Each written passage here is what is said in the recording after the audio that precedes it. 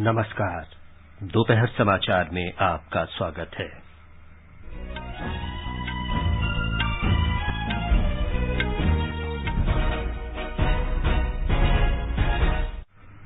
प्रधानमंत्री नरेंद्र मोदी ने मेरठ में मेजर ध्यानचंद खेल विश्वविद्यालय की आधारशिला रखी।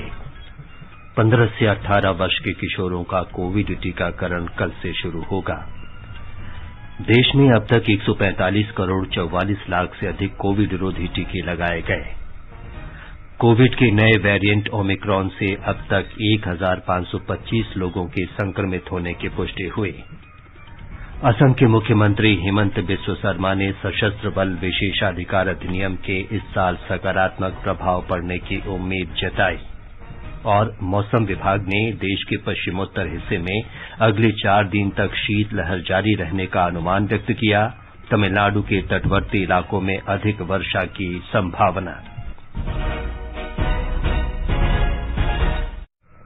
दोपहर समाचार में मनोज के साथ मैं, विमलेंदु पांडे। देश कोविड टीकाकरण अभियान के अंतर्गत 150 करोड़ टीके लगाने की दिशा में निरंतर आगे बढ़ रहा है। कोरोना वायरस का नया वेरिएंट मिलने से चिंताएँ बढ़ी हैं। आपसे हमारी अपील है कि यथाशीघ्र दोनों टीके लगवाएँ और अन्य लोगों को भी टीके लगवाने के लिए प्रेरित करें। कृपया तीन सरल उपायों का पालन अवश्य करें। मास्क लगाएँ, दो गज की सुरक्षित दूरी बनाए रखें और हाथ और चेहरा साफ़ रखें। कोविड से संबंधित किसी भी जानकारी और मार्गदर्शन के लिए राष्ट्रीय हेल्पलाइन नंबर शून्य एक एक दो तीन नौ सात आठ शून्य चार छह और एक शून्य सात पाँच पर संपर्क करें। अब समाचार विस्तार से। प्रधानमंत्री नरेंद्र मोदी ने आज मेरठ में मेजर ध्यानचंद खेल विश्वविद्यालय की आधारशिला रखी। इस विश्वविद्यालय की स्थापना सरधना कस्बे के सलावा और कैली गाँव में की जा रही है। इस पर लगभग 700 करोड़ रुपए की लागत आएगी। प्रधानमंत्री इस समय सरधना में जनसभा को संबोधित कर रहे हैं। आइए सुनते हैं उनका संबोधन। यानी खेल की कोई इज़्ज़त ही नहीं मानी जाती थी। गाँव में यदि कोई खुद को खिलाड़ी बताता तो लोग कहते थे, चलो, फौज या पुलिस में नौकरी के लिए खेल रहा होगा। यानी खेलों के प्रति सोच और समझ का दायरा बहुत सीमित हो गया था। पहले की सरकारों ने युवाओं के इस सामर्थ्य को महत्व नहीं दिया। ये सरकारों का दायित्व था कि समाज में खेल के प्रति जो सोच है, उसे खेल को, उस सोच को बदल करके खेल को बाहर निकालना बहुत ज़रूरी है। लेकिन हुआ उल्टा। ज़्यादातर खेलों के प्रति देश में बेरुखी बढ़ती गई। परिणाम ये हुआ कि जिस हॉकी में गुलामी के कालखंड में भी मेजर ध्यानचंद जी जैसी प्रतिभाओं ने देश को गौरव दिलाया। उसमें भी मेडल के लिए हमें दशकों का इंतज़ार करना पड़ा। दुनिया की हॉकी प्राकृतिक मैदान से एस्ट्रो टर्फ की तरफ़ बढ़ गई, लेकिन हम वहीं के वहीं रह गए। जब जब तक हम जागे, तब तक बहुत देर हो चुकी थी। ऊपर से ट्रेनिंग से लेकर टीम सिलेक्शन तक, हर स्तर पर भाई भतीजावाद, बिरादरी का खेल, भ्रष्टाचार का खेल, लगातार हर कदम पर भेदभाव और पारदर्शिता का तो नामो निशान नहीं। साथियों, हॉकी तो एक उदाहरण है। ये हर खेल की कहानी थी। बदलती टेक्नोलॉजी बदलती डिमांड बदलती स्किल्स के लिए देश में पहले की सरकारें बेहतरीन इकोसिस्टम तैयार ही नहीं कर पाई। उत्तर प्रदेश के मुख्यमंत्री योगी आदित्यनाथ ने मेजर ध्यानचंद खेल विश्वविद्यालय की आधारशिला रखने पर प्रधानमंत्री नरेंद्र मोदी का आभार व्यक्त किया। उन्होंने कहा कि ये राज्य का पहला खेल विश्वविद्यालय है। मैं आभारी हूँ, आदरणीय प्रधानमंत्री जी का, जिन्होंने देश के सर्वोच्च खेल पुरस्कार, खेल रत्न का नाम, हॉकी के जादूगर कहे जाने वाले मेजर ध्यानचंद जी के नाम पर रखा। और आज, जिस विश्वविद्यालय का शिलान्यास आदरणीय प्रधानमंत्री जी के कर कमलों से हो रहा है। इस प्रदेश के पहले स्पोर्ट्स यूनिवर्सिटी का नामकरण भी मेजर ध्यानचंद जी के नाम पर होने जा रहा है। प्रधानमंत्री नरेंद्र मोदी ने कल प्रधानमंत्री किसान सम्मान निधि योजना के अंतर्गत वित्तीय लाभ की दसवीं किस्त जारी की। दस करोड़ से अधिक किसानों के बैंक खाते में बीस हज़ार करोड़ रुपए से अधिक राशि अंतरित की गई। इस अवसर पर श्री मोदी ने कहा कि ये उनके लिए सम्मान का विषय है कि वे नए वर्ष की शुरुआत देश के अन्नदाताओं के साथ कर रहे हैं।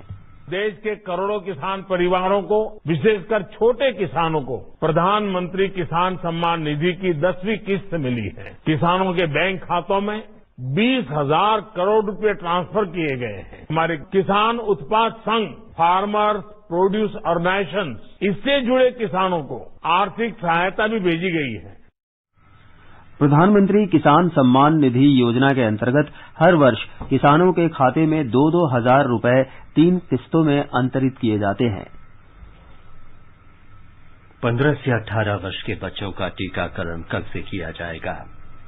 राष्ट्रीय डिजिटल स्वास्थ्य मिशन के मुख्य कार्यकारी अधिकारी राम सेवक शर्मा ने बच्चों से टीका लगवाने और अपने दोस्तों से भी टीकाकरण कराने की अपील की।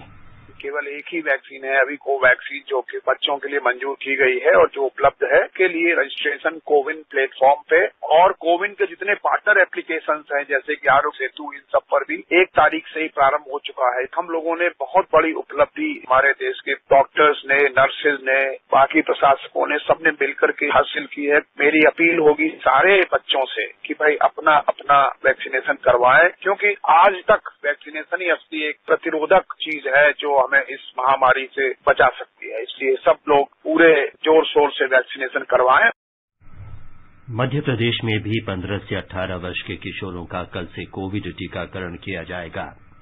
राज्य सरकार ने पहले दिन 12 लाख पात्र लाभार्थियों के टीकाकरण का लक्ष्य निर्धारित किया है।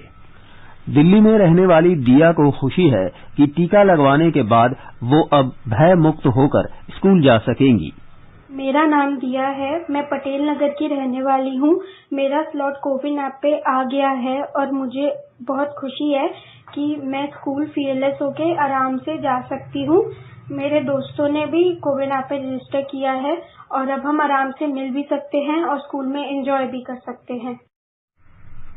देश में कोविड के नए वेरिएंट ओमिक्रॉन के अब तक 1,525 लोगों के संक्रमित होने की पुष्टि हुई है।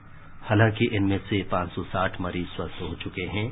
महाराष्ट्र में सबसे अधिक 407 और दिल्ली में तीन सौ इक्यावन ओमिक्रॉन के रोगी मिले हैं। स्वास्थ्य मंत्रालय ने कहा है कि देश में अब तक एक अरब पैंतालीस करोड़ चौवालीस लाख कोविड के टीके लगाए जा चुके हैं। पिछले 24 घंटे में 25 लाख पचहत्तर हज़ार टीके लगाए गए। इस दौरान 9 हज़ार से अधिक कोविड रोगी ठीक हुए। कोविड से स्वस्थ होने की दर अट्ठानवे दशमलव दो सात प्रतिशत हो गई है। पिछले 24 घंटे में सत्ताईस हज़ार से अधिक कोविड मरीजों की पुष्टि हुई केंद्र ने कोरोना संक्रमित लोगों की बढ़ती संख्या को देखते हुए राज्यों से कहा है कि वे अस्थायी अस्पतालों की व्यवस्था शुरू करें, ताकि स्वास्थ्य सुविधाएँ बढ़ाई जा सकें। स्वास्थ्य सचिव राजेश भूषण ने राज्यों के मुख्य सचिवों और स्वास्थ्य सचिवों को पत्र लिखकर इस बारे में जानकारी दी। स्वास्थ्य सचिव ने लोगों से अपील की है कि वे कोविड से होने वाली मृत्यु दर को कम से कम करने के प्रयास में सहयोग करें। उन्होंने कहा कि कोविड से लड़ाई में कोविड उपयुक्त व्यवहार और टीकाकरण प्रमुख स्तंभ हैं। नई दिल्ली के अखिल भारतीय आयुर्विज्ञान संस्थान के सहयोग से स्वास्थ्य मंत्रालय ने उत्कृष्टता केंद्र के साथ कोविड रोगियों के नैदानिक प्रबंधन के विभिन्न पहलुओं पर वेबिनार की श्रृंखला आयोजित की थी। वेबिनार की इस श्रृंखला को डॉक्टरों, विशेष रूप से गहन चिकित्सा विशेषज्ञों द्वारा काफ़ी सराहा गया है। केंद्र ने राज्यों और केंद्र शासित प्रदेशों को अब तक एक अरब बावन करोड़ इकतीस लाख से अधिक कोविड टीके उपलब्ध कराए हैं। ये टीके केंद्र ने निःशुल्क प्रदान किए हैं। स्वास्थ्य और कोविड टीकाकरण पर राष्ट्रीय विशेषज्ञ समूह के अध्यक्ष तथा नीति आयोग के सदस्य डॉ वीके पॉल ने कहा कि समय सावधानी बरतना बहुत आवश्यक है। हम विश्व में चल रही कोविड की महामारी के हिस्सा थे और अगर ओमिक्रॉन इतने जोरों से बढ़ा है तो हम उसका हिस्सा बन चुके हैं और हमें आगे भी इसको लेकर जो हमें काम करने हैं, अपने आप को बचाना है, देश को संभालना है, ये सबकी अपनी अपनी ज़िम्मेदारी निभानी एक चीज़ का ख्याल रहे कि ओमिक्रॉन का तब भी पता लगता है जब हम जीनोमिक सिक्वेंसिंग करते तो अभी जो पिक्चर इमर्ज हो रही है, उसमें एक दो तो चीज़ें साफ़ है कि एक, ओमिक्रॉन आ चुका है हमारे देश में, दूसरा कि ओमिक्रॉन बढ़ रहा है। और ये संभावित ही था। जो बढ़ोतरी हो रही है दिल्ली के बड़े शहरों में, राज्यों में भी तो ये दिखाई दे रहा है कि उसमें डेल्टा, जो कि पहला डोमिनेंट वेरिएंट था अब धीरे धीरे ओमिक्रॉन उसको डिस्प्लेस कर रहा है। दिल्ली के मुख्यमंत्री अरविंद केजरीवाल ने कहा है कि कोविड रोगियों की संख्या में तेज़ी से वृद्धि हो रही है लेकिन घबराने की ज़रूरत नहीं है। उन्होंने कहा कि सभी रोगी बिना लक्षण या हल्के लक्षण वाले हैं। उन्होंने कहा कि दिल्ली में इस समय 6,360 रोगियों का उपचार चल रहा है। महाराष्ट्र में कोविड रोगियों की संख्या में वृद्धि हो रही है, साथ ही ओमिक्रॉन के मरीज़ भी बढ़ रहे हैं। हमारे संवाददाता ने बताया है कि महाराष्ट्र के उप मुख्यमंत्री अजीत पवार ने कोविड मामलों में और वृद्धि होने पर राज्य में कड़े प्रतिबंध लगाने की चेतावनी दी है। महाराष्ट्र में 24,509 से ज़्यादा एक्टिव केस है जिसमें 50 फ़ीसदी से ज़्यादा 16,441 एक्टिव केस के साथ मुंबई कोरोना हॉटस्पॉट बनने की कगार पर है। राज्य में 21 दिसंबर को 7,111 एक्टिव केस थे और पिछले 10 दिनों में राज्य में कोरोना के मामलों में तीन गुना से ज़्यादा की बढ़ोतरी दर्ज की गई। महाराष्ट्र के उप मुख्यमंत्री अजीत पवार ने चेतावनी दी कि अगर कोविड उन्नीस के मामले लगातार बढ़ते रहे तो राज्य में सख्त प्रतिबंध लगाए जाएँगे। उन्होंने बताया कि महाराष्ट्र में 10 से अधिक मंत्रियों और 20 विधायकों ने सकारात्मक परीक्षण किया है, जिसके परिणाम स्वरूप सरकार को हाल ही में विधानसभा सत्र में कटौती करनी पड़ी। देवोप्रिय भट्टाचार्य जी आकाशवाणी समाचार, मुंबई। कोविड मरीजों की पुष्टि के बाद जम्मू कश्मीर प्रशासन ने श्री माता वैष्णो देवी विश्वविद्यालय, कटरा को तुरंत बंद करने का आदेश दिया है। विश्वविद्यालय सूत्रों के अनुसार चौदह विद्यार्थी संक्रमित पाए गए हैं। कटरा रेलवे स्टेशन पर कल जाँच के दौरान माता वैष्णो देवी मंदिर के दर्शन के लिए आए तेरह तीर्थयात्री भी कोविड पॉजिटिव पाए गए। आकाशवाणी का समाचार सेवा प्रभाग आज रात साढ़े नौ बजे कोरोना जागरूकता श्रृंखला के तहत लाइव फ़ोन इन कार्यक्रम प्रसारित करेगा। गोविंद वल्लभ पंत अस्पताल, नई दिल्ली के doctor professor Sanjay Pandey corona से संबंधित प्रश्नों के उत्तर देंगे। श्रोता हमारे विशेषज्ञ से टेलीफोन नंबर शून्य एक एक दो तीन चार दो एक दो तीन शून्य और शून्य एक एक दो तीन चार दो एक सात छह चार पर प्रश्न पूछ सकते हैं। Twitter handle at A I R news alerts hashtag ask A I R पर भी सवाल पूछे जा सकते हैं। ये कार्यक्रम एफएम गोल्ड चैनल और अतिरिक्त मीटरों पर उपलब्ध रहेगा। आगे बढ़ने से पहले मुख्य समाचारों पर एक नज़र। प्रधानमंत्री नरेंद्र मोदी ने मेरठ में मेजर ध्यानचंद खेल विश्वविद्यालय की आधारशिला रखी। 15 से 18 वर्ष के किशोरों का कोविड टीकाकरण कल से शुरू होगा। देश में अब तक 145 करोड़ 44 लाख से अधिक कोविड रोधी टीके लगाए गए। कोविड के नए वेरिएंट ओमिक्रॉन से अब तक 1525 लोगों के संक्रमित होने की पुष्टि हुई। असम के मुख्यमंत्री हिमंत बिस्व शर्मा ने सशस्त्र बल विशेष अधिकार अधिनियम के इस साल सकारात्मक प्रभाव पड़ने की उम्मीद जताई और मौसम विभाग ने देश के पश्चिमोत्तर हिस्से में अगले चार दिन तक शीतलहर जारी रहने का अनुमान व्यक्त किया। तमिलनाडु के तटवर्ती इलाकों में अधिक वर्षा की संभावना ये समाचार हमारी website news on A I R dot com slash Hindi और हमारे mobile app news on A I R पर भी उपलब्ध है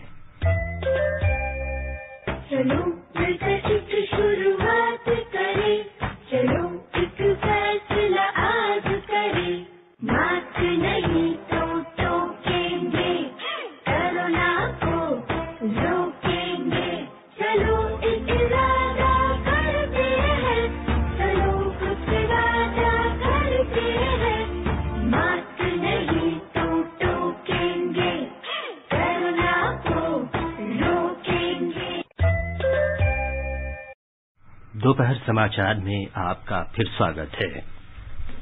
असम के मुख्यमंत्री हेमंत बिस्व शर्मा ने कहा है कि इस वर्ष सशस्त्र बल विशेषाधिकार अधिनियम के मामले में कुछ सकारात्मक परिणाम सामने आ सकते हैं।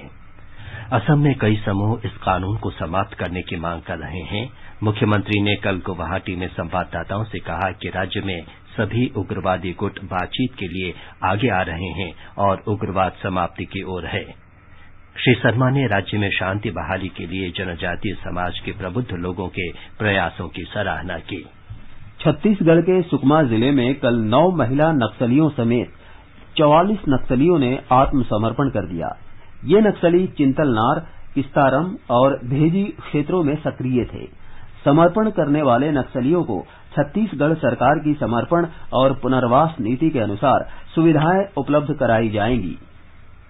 सेना ने कल जम्मू कश्मीर में कुपवाड़ा के केरन सेक्टर में घुसपैठ की घटना को विफल करते हुए एक आतंकी को मार गिराया। सेना के अधिकारी ने बताया कि उसकी पहचान पाकिस्तान के शब्बीर मलिक के रूप में हुई है। सूत्रों ने बताया कि घटनास्थल पर एके सैंतालीस राइफल, सात ग्रेनेड सहित गोला बारूद मिला है। लद्दाख में सामरिक दृष्टि से महत्वपूर्ण, साढ़े चौदह किलोमीटर लंबी जोजिला सुरंग का निर्माण कार्य भीषण ठंड के बीच जारी है। इस सुरंग से केंद्र शासित प्रदेश लद्दाख सभी मौसम के अनुकूल सड़क मार्ग से जुड़ जाएगा। राष्ट्रीय राजमार्ग और बुनियादी ढांचा विकास निगम लिमिटेड, करगिल के महाप्रबंधक कर्नल शिव कुमार ने बताया कि बर्फबारी होने पर भी सुरंग का निर्माण कार्य जारी रहेगा। मनोबल बहुत हाई है। सिचुएशन हमने बना रखी है यहाँ पर जो बंदोबस्त किया हुआ है। लोगों के रहने का, सामान की स्टॉकिंग करने का, राशन पानी रखने का फ्यूल का स्टॉकिंग करने का इक्विपमेंट के जो स्पेयर पार्ट्स हैं उनको रखने का, लोगों के रहने का अरेंजमेंट करने का। इतना अच्छा अरेंजमेंट कर दिया है हम लोगों ने कि अब सब बड़े कंफर्टेबली रह रहे हैं। जैसे आप देख रहे हैं, पूरी बर्फ़ पड़ी हुई है यहाँ पर। इस मौसम में भी और जब temperature minus twenty twenty five तक भी है, तब भी उसमें काम चौबीस घंटे चल रहा है। ये समाचार आकाशवाणी से प्रसारित किए जा रहे हैं। ताज़ा समाचार जानने के लिए आप हमारे Twitter handle at AIR Hindi को फॉलो कर सकते हैं। आज़ादी के अमृत महोत्सव के लिए सभी उपभोक्ताओं को शुभकामनाएँ। हॉलमार्क सोने की शुद्धता सुनिश्चित करता है। हमेशा हॉलमार्क वाले सोने के आभूषण खरीदें। उपभोक्ता संबंधित किसी भी शिकायत के लिए कृपया राष्ट्रीय उपभोक्ता हेल्पलाइन के टोल फ्री नंबर एक चार चार शून्य चार पर संपर्क करें। उपभोक्ता मामले विभाग भारत सरकार द्वारा जनहित में जारी। जागो ग्राहक, जागो। ये आकाशवाणी है। आकाशवाणी समाचार की विशेष प्रस्तुति धरोहर में स्वतंत्रता आंदोलन के उन भाषणों, नारों और कविताओं से नई पीढ़ी को परिचित कराया जाता है, जिन्होंने आज़ादी के दीवानों में उत्साह का संचार किया था। धरोहर प्रत्येक सोमवार शाम चार बजकर पैंतालीस मिनट पर परिक्रमा कार्यक्रम में प्रसारित किया जाता है।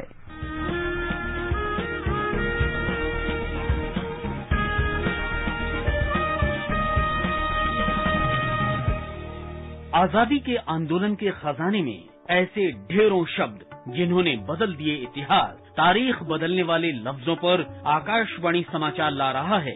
विशेष कार्यक्रम धरोहर हर सोमवार।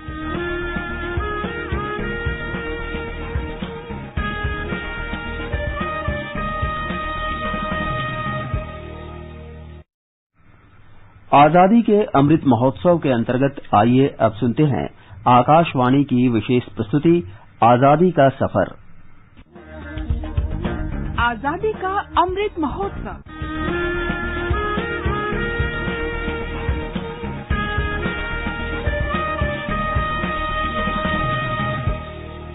आज़ादी का सफ़र आकाशवाणी के संग। भारत का शानदार स्वाधीनता संघर्ष। आधुनिक विश्व के महानतम संघर्षों में से एक है। आकाशवाणी से हम आपके लिए रोज़ाना ला रहे हैं इस शानदार संघर्ष की झलक। दो जनवरी 1947 को महात्मा गांधी ने पूर्वी बंगाल में दंगा पीड़ित क्षेत्रों में शांति मार्च शुरू किया था।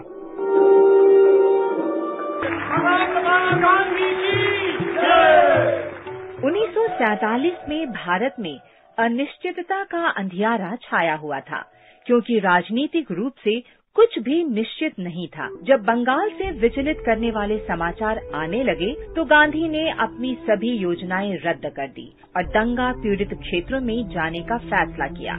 पूर्वी बंगाल के नोआखाली में उन्होंने देखा कि देशवासियों के दिलों में किस कदर भय, नफरत और हिंसा समा गई है। वे गाँव गाँव गए और राजनीतिक धरातल से परे जाकर मानवता के लिए शांति के मुद्दे उठाए। उन्होंने निवेदन किया कि सभी दलों को मिलकर ये प्रयास करना चाहिए कि सभ्य जीवन की मर्यादा तार तार न होने पाए। गांधी जी की उपस्थिति ने पूर्वी बंगाल के गाँव में अच्छा काम किया और लोगों के बीच तनाव और गुस्से को शांत किया।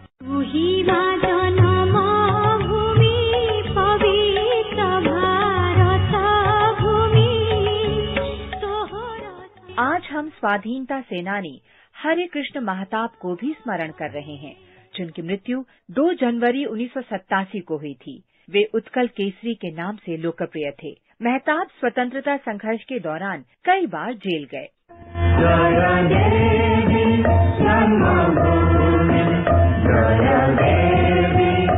हरे कृष्ण महताब का जन्म 21 नवंबर 1899 को ओडिशा के बालेश्वर ज़िले के अगरपाड़ा गाँव में हुआ था। स्वतंत्रता आंदोलन में शामिल होने के लिए उन्होंने 1921 में स्नातक की पढ़ाई बीच में छोड़ दी। वे 1930 में उत्कल प्रदेश कांग्रेस कमेटी के अध्यक्ष बने। उसी साल सत्याग्रह आंदोलन में भाग लेने के कारण उन्हें जेल भेज दिया गया। कैद में उन्होंने वाल्मीकि रामायण का ओडिया में अनुवाद किया। उन्होंने भगवत गीता को ओडिया में काव्य रूप में लिखा।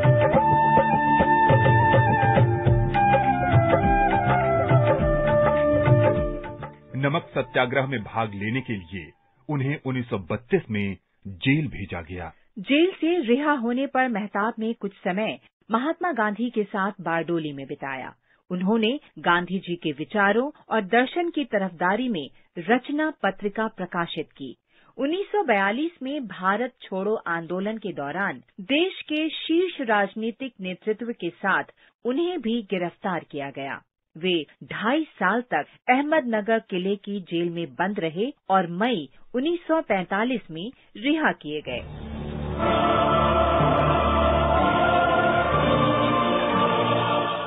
महताब ओडिशा के प्रथम मुख्यमंत्री थे। वे अप्रैल 1946 से मई 1950 तक इस पद पर रहे।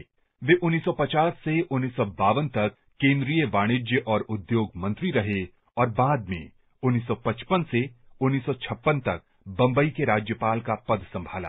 1956 में राज्यपाल का पद छोड़कर वे पुनः ओडिशा के मुख्यमंत्री बने और 1956 से 1960 तक इस ज़िम्मेदारी को निभाया। मुख्यमंत्री के कार्यकाल के दौरान मेहताब ने रियासतों के विलय और एकीकरण कटक से हटाकर भुवनेश्वर को राजधानी बनाने और बहुद्देशीय हीराकुंड बाँध परियोजना को स्वीकृति और निर्माण में महत्वपूर्ण भूमिका निभाई। वे उन्नीस सौ बासठ में अंगुल से लोकसभा के लिए चुने गए और जीवन पर्यंत लोगों की सेवा करते रहे। महान राष्ट्रवादी को शत शत नमन। वंदे भारत केसरीन्द्र सुमते कारुण्यवारानिधे वंदे हृत्सड पद्ममध्य सुलसल् आचार्य तुभ्यम् नमः। हम महान स्वाधीनता सेनानी और समाज सुधारक मनत्तु पद्मनाभन को भी स्मरण कर रहे हैं। उनका जन्म 2 जनवरी 1878 को केरल के कोट्टयम में हुआ था। पद्मनाभन को दूर दृष्टा सुधारक माना जाता है, जिन्होंने नायर समुदाय को नायर सर्विस सोसाइटी के तहत संगठित किया। पद्मनाभन ने सामाजिक असमानता से भी संघर्ष किया। 1924 में उन्होंने वायकॉम सत्याग्रह में भाग लिया। तथा कथित निचली जातियों के लिए मंदिर प्रवेश की मांग करते हुए वे 1931 में गुरुवयूर सत्याग्रह में शामिल हुए। उन्होंने जाति के आधार पर कोई भेदभाव न करते हुए अपना पारिवारिक मंदिर सबके लिए खोल दिया। 25 मई 1947 को पद्मनाभन ने अलपुझा के मुतुकुलम में प्रसिद्ध मुतुकुलम भाषण दिया। भारत के स्वाधीनता आंदोलन में भाग लेने पर 14 जुलाई 1947 को उन्हें गिरफ़्तार किया गया। स्वतंत्रता के बाद पद्मनाभन राजनीति में आ गए और लोगों की सेवा करते रहे। महान स्वाधीनता सेनानी को शत शत नमन। आज बस इतना ही। आज़ादी का सफ़र आकाशवाणी के संग। कल फिर मिलेंगे नई कड़ी के साथ।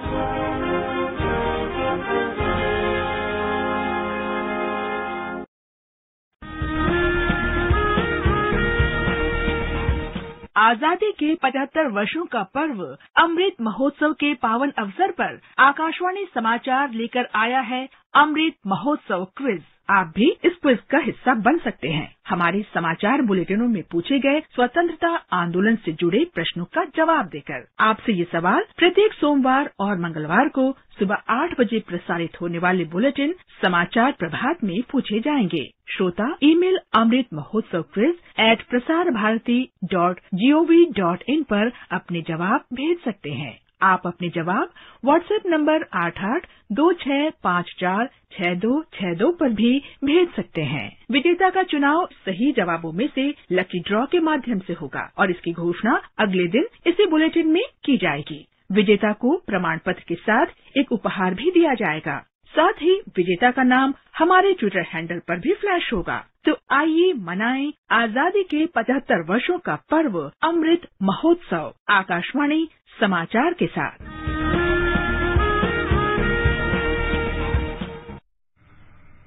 भारत और दक्षिण अफ्रीका के बीच दूसरा क्रिकेट टेस्ट मैच कल से जोहानिसबर्ग में खेला जाएगा। ये मैच भारतीय समय के अनुसार दिन में डेढ़ बजे से शुरू होगा। उपराष्ट्रपति एम वेंकैया नायडू ने आज कोच्चि शिपयार्ड में बनाए जा रहे स्वदेशी विमान वाहक पोत आईएनएस विक्रांत का अवलोकन किया। शिपयार्ड और भारतीय नौसेना के वरिष्ठ अधिकारियों ने उपराष्ट्रपति को आईएनएस विक्रांत की विशेषताओं के बारे में जानकारी दी। नौसेना को ये पोत इस वर्ष अगस्त में सौंपा जा सकता है। मौसम विभाग ने तमिलनाडु के तटवर्ती क्षेत्रों में और अधिक वर्षा तथा अगले चार दिन तक देश के पश्चिमोत्तर हिस्से में शीतलहर जारी रहने का अनुमान व्यक्त किया है। विभाग ने बताया कि कल से पश्चिमी विक्षोभ और चक्रवात का देश के पश्चिमोत्तर भागों में असर पड़ सकता है। अगले चार दिन के दौरान जम्मू कश्मीर, हिमाचल प्रदेश और उत्तराखंड में बारिश और बर्फबारी हो सकती है। अब एक नज़र आज के मौसम पर। राजधानी दिल्ली, मुंबई और कोलकाता में आसमान साफ़ रहेगा। चेन्नई में बादल छाए रहने के साथ हल्की वर्षा हो सकती है। इन महानगरों का न्यूनतम तापमान 6 डिग्री सेल्सियस और अधिकतम 31 डिग्री सेल्सियस के आसपास रहेगा। श्रीनगर और जम्मू में आंशिक रूप से बादल छाए रहेंगे। गिलगित और मुजफ्फराबाद में भी बादल घिरे रहने और हल्की वर्षा का अनुमान है। लेह में भी बारिश या बर्फबारी हो सकती है। पूर्वोत्तर में गुवाहाटी, आइजोल, ईटानगर में बादल छाए रहेंगे और बूंदाबांदी के आसार है। शिलांग, गैंगटॉक, अगरतला, इम्फाल, कोहिमा में आसमान साफ़ रहेगा। विशाखापत्तनम, बेंगलुरु, तिरुवनंतपुरम और पुदुचेरी में आंशिक रूप से बादल छाए रहेंगे और हल्की बारिश हो सकती है। न्यूनतम तापमान 17 डिग्री सेल्सियस और अधिकतम 34 डिग्री सेल्सियस के आसपास रहने की संभावना है। दिसंबर 2021 में वस्तु और सेवा कर संग्रह एक लाख उनतीस हज़ार करोड़ रुपए से अधिक रहा। ये वर्ष 2020 की इसी अवधि में संकलित जीएसटी राजस्व से 13 प्रतिशत और दिसंबर 2019 से 26 प्रतिशत अधिक है। अंत में मुख्य समाचार, एक बार फिर।